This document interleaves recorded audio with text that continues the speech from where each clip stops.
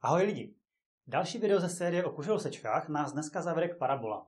Ty už známe z funkcí, takové y rovná se x na druhou. V tomto videu si ale ukážeme, jak jsou paraboly definovány geometricky a že ty paraboly můžou být i různě otočené. Jdeme na to. Tak jako všechny kuželosečky, i parabola vzniká jako průnik kuželové plochy a nějaké roviny. Tato rovina je specifická v tom, že je rovnoběžná s jednou z přímek, která vlastně vytváří tu kuželovou plochu a prochází středem toho kužele. Když se podíváme na průnik toho, co vznikne vlastně rovinou a tou kuželovou plochou, tak vidíme takovouhle křivku, kterou už známe z funkcí. Víme, že takhle vypadá graf kvadratické funkce a tomuhle grafu jsme říkali parabola. Doteď znali jako graf funkce. Kvadratická funkce měla rovnici y rovná se ax na druhou plus bx plus c a víme, že ten graf vypadal no, zhruba takhle. Jo, ta parabola byla symetrická kolem svislé osy. Dneska překročíme tenhle ten omezený pohled na parabolu a podíváme se na pohled na ní jako na křivku, ne jako na funkci. Třeba tady tahle ta křivka rozhodně funkce není, protože jedné hodnotě x přísluší dvě hodnoty y. Když se podíváme na definici tvaru té křivky, tak parabola je množina bodů, které mají od pevně daného bodu, kterému říkáme ohnisko, a dané přímky, které potom budeme říkat řídící přímka, stejnou vzdálenost. Teďka ohnisko a řídící přímku zakreslím do paraboly bez toho, aniž bych řekl zatím, jak jsem na ně přišel. Ohnisko bude tady a řídící přímku, tak tu dáme, tu dáme sem. Tak, tohle bude řídící přímka, to si označíme jako D. Co mi ta definice říká? Ona mi říká, že když si vezmu libovolný bod na té parabole, třeba, třeba tady, tak vzdálenost od té přímky, přičemž vzdálenost od přímky je kolma. Jo? Vlastně vzdálenost se definuje jako ta nejkratší možná. Jo? Tady tahle ta modrá kolmá úsečka je úplně stejná jako vzdálenost tohohle bodu od toho ohniska. Takže jako tady tato úsečka. Jo? Tahle ta modrá a fialová úsečka jsou stejně dlouhé a toto by platilo pro libovolný bod na té parabole. Mohl bych to samé udělat zde a zase ty délky těch úseček budou jako trochu jiné než tyto, ale zase budou stejně dlouhé. Tak to teďka umažu, ať nám to tam nezavazí. Teď jenom krátká vsuvka, proč se o těch parabolách vůbec bavíme, k čemu jsou dobré, kde se objevují. Tak třeba v autech reflektory mají tenhle ten tvar, protože když do ohniska dám žárovku, zářivku, tak všechny paprsky, které ta zářivka vydává, ať už putují jakýmkoliv směrem, tak ve chvíli, kdy se odrazí od zrcadla, tak všechny jdou ven rovnoběžně s osou té paraboly. Nebo například v teorii gravitačního pole po takovéhle trajektorii se pohybují velmi rychlá tělesa kolem nějaké planety. Jo, v tom ohnisku by mohla být planeta, já bych tady mohl poslat nějakou hodně rychlou loď a ona by kolem té planety takhle po zakřivené trajektorii vyletěla ven. Když se vrátíme k té matematické části, tak vzdálenost toho ohniska a řídící přímky značíme P a hodnotě této vzdálenosti říkáme parametr. A je to parametr paraboly. No a přesně mezi ohniskem a řídící přímkou se nachází vrchol té paraboly, což je vlastně bod, kterým prochází osa symetrie té paraboly. U parabol můžeme najít čtyři základní typy umístění. Když máme standardní graf xy, tak parabola může být klasická funkce, která má vlastně vrchol jako minimum, anebo druhá varianta, že ta parabola je otočená takto, že má vrchol vlastně jako maximum. To jsou dvě varianty. Potom tu máme tuto variantu, kdy vlastně parabola má vrchol jako bod, který je nejvíce vlevo, anebo ta parabola může být otočená obráceně, tedy kdy vrchol je bod nejvíce vpravo. Pro všechny tyto varianty si ukážeme, jak vypadají jejich rovnice. Když začnu touhletou parabolou, tak eh, obecně ty paraboly mají velmi podobný zápis. Je tady x minus xová souřadnice vrcholu, krát 2p, přičemž to p je myšleno toto. P, to jsem možná tady ještě měl zapsat, jedná se o vzdálenost, takže to musí být kladné číslo. No a tady musí být y minus y souřadnice vrcholu na druhou. Takhle obecně vypadají paraboly, které mají ten vrchol vlevo a jsou symetrické kolem osy, která je vodorovná, jo, je rovnoběžná s osou x. Když se mrkneme zrovna na tuhle tu parabolu, tak vrchol má zde souřadnice 1 na x a minus 1 na y. Takže do té rovnice můžu napsat x minus 1 rovná se y minus minus 1, takže y plus 1 na druhou. Teďka ještě otázka, co napsat zde. Vlastně hodnota toho parametru mi říká, jak ta parabola bude rozevřená. Čím větší hodnota parametru, tím je ta parabola vlastně rozevřenější. A naopak, čím menší, tak tím víc je uší. Tady u téhle paraboly je hodnota parametru 1. Já jsem to tak navolil, já vím, jaká data, jakou rovnici jsem vlastně vrazil do toho programu.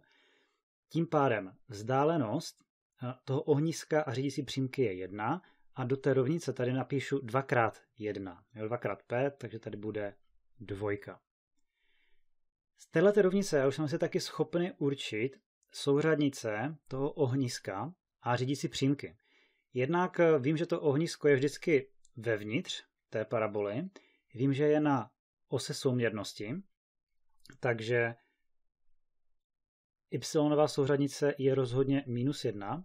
A co se týče té xové, tak protože parametr je 1, což je vzdálenost ohniska a řídící přímky, tak eh, od vrcholu to ohnisko bude o polovinu toho parametru vpravo. Takže pokud je parametr 1, tak tady tato vzdálenost je jedna polovina.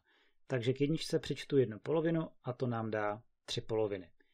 Jinak eh, rovnice té řídící přímky je potom y rovná se jedna polovina. Jo, vlastně o jednu polovinu doleva od toho vrcholu, přičemž vrchol má souřadnici xovou 1. Toto byla tedy parabola, která měla vrchol na levé straně, byla symetrická kolem vodorovné osy a její větve se rozevíraly směrem doprava. Kdybych si to potřeboval nějak zapamatovat, tak si můžu všimnout, že vlastně když máme tuhle tu rovnici, tak ať už dosazuju hodně záporná nebo hodně kladná y zde, tak na pravé straně té rovnice bude kladné číslo, díky tomu na druhou. A když se na to budu dívat jako na rovnost dvou výrazů, tak na to, abych vykompenzoval tenhle ten nárůst v y směru, tak musí mít do hodně kladných xových hodnot. Jo? Proto ta parabola má větve rostoucí směrem doprava. Schválně, co se ale stane, pokud vemu tu samou rovnici a na jednu z těch stran dám znamenko mínus. Je celkem jedno na jakou, protože ať už to mínus dám třeba tady, tak můžu celou rovnici přenásobit mínus jedničkou a ono se to mínus objeví tady. Jo, takže je jedno na jakou stranu. Ale pro lepší pochopení bude fajn, když si dáme to mínus na pravou stranu. Dáme tady graf a schválně, co se stalo. Souřadnice vrcholu se nám nezměnily, protože ty jsou závislé čistě na tom, co je v těch závorkách. Parabola je stále symetrická kolem vodorovné osy, protože tahle ta závorka s x je na prvou, proto je symetrická kolem osy, která je vodorovná se směrem x, ale co se změnilo, je natočení té paraboly. Teďka má vrchol vpravo a ty její větve rostou jakoby doleva. A to je dáno přesně tímhletím znamenkem minus. Podobnou logikou, jako jsem zmiňoval před chvíli, se na to můžeme dívat tak, že tady na pravé straně bude vždycky záporný výraz. Ten výraz bude mít zápornou hodnotu.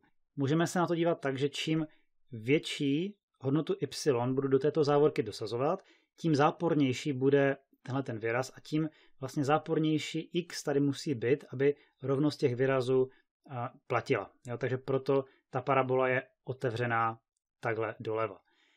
Co se taky změnilo, je poloha ohniska a řídící přímky. Parametr je zase evidentně jednička, ale ohnisko musí být uvnitř té paraboly. Takže ta situace je trošku obrácená než tady na začátku. Pokud je parametr 1, tím pádem vzdálenost řídící přímky a ohniska je 1, tak tím pádem vlastně ta vzdálenost ohniska od vrcholu je jedna polovina. Tady máme ohnisko, jeho souřadnice jsou jedna polovina a minus jedna, no a ta řídící přímka prochází o jednu polovinu víc vpravo než ten vrchol, takže její rovnice je x rovná se 3 poloviny. Jo, takže pokud je na jedné z těch stran paraboly minus, tak se takto otáčí. Tím bychom měli paraboly, které jsou symetrické kolem osy, která je vodorovná a teďka půjdeme na ty, které jsou symetrické podle svislé osy. Tento typ parabol dobře známe, protože se jedná přesně o ty paraboly, které už jsme používali u kvadratické funkce. Y je tady na prvou, x na druhou a jedná se o funkci. Jo, každému x z definičního oboru pouze jedna funkční hodnota. Co se týče toho analyticko-geometrického pohledu, tak to 2p je na straně y a zase, co se týče toho vrcholu, tak ten má souřadnice jako ty nulové body těch závorek. Jo, za to y, když dosadím minus dvojku, tak tady v té závorce bude nula. Za x, když tady dosadím minus jedničku, tak v této závorce bude nula. Takže vrchol má souřadnice minus 1, minus 2. Protože 2p se rovná 4, tak evidentně parametr má hodnotu 2. A protože dvojka je vzdálenost ohniska a řídící přímky a přesně mezi nimi je vrchol, tak od vrcholu o hodnotu 1 leží ohnisko, to máme zde, a řídící přímka nám leží tady. Jo, to bude přímka D s rovnici y rovná se minus 3. Ohnisko bude mít souřadnice minus 1 a minus 1. Jo, o hodnotu 1 nad tím vrcholem V. Co jsem tady vlastně ještě nikdy nezmiňoval, byla rovnice té osy paraboly, ale to je velmi jednoduché. Víme, že to je přímka, která je buď rovnoběžná s x nebo y podle toho, jak ta rovnice vypadá a prochází vrcholem. Takže tahle parabola je symetrická podle osy O, která je rovnoběžná s osou y, takže její zápis bude x rovná se minus 1. Poslední typ paraboly, jak už asi tušíte, je vlastně ten samý, akorát se znamenkem minus na jedné straně té rovnice. Takže když vemu ty samé rovnice, fláknu tu někde minus, třeba tady na pravou stranu, tak co se stane? Vrchol má úplně stejné souřadnice. Jo? S ním se vlastně vůbec nic nezměnilo, protože ty závorky zůstaly víceméně stejné. Protože je tady ale znamenko minus, tak na pravé straně té rovnice bude vždycky záporné číslo. Dvojčelem na druhou je vždycky kladné, s tímhletím minus záporné a tím pádem čím více jdu, ať už doprava s tím x nebo doleva, tak musím vlastně mít záporné y, abych tady na té levé straně dostal taky záporný výraz. Proto ta parabola má vrchol nahoře a její větve jsou rozevřeny směrem dolů. Analogicky s tím předešlým příkladem, parametr je dvojka, tím pádem vzdálenost vrcholu a ohniska je jedna. A to ohnisko musí být vždycky uvnitř té paraboly. Takže tady máme ohnisko f o souřadnicích minus 1, minus 3 a ta řídící přímka je teďka nad parabolou a má rovnici y rovná se minus 1. Díky moc za dokoukání videa až sem. Pokud se ti video líbilo, můžeš mu dát like. A pokud si potřebuješ příklady z analytické geometrie propočítat ještě více, tak mám pro tebe sbírku řešených příkladů. Je v ní opravdu hodně úloh na kuželosečky, roviny, přímky, jejich vzájemnou polohu, vektorové násobení, prostě všechno, co člověk na střední i vysoké škole potřebuje v analytické geometrii. Měj se.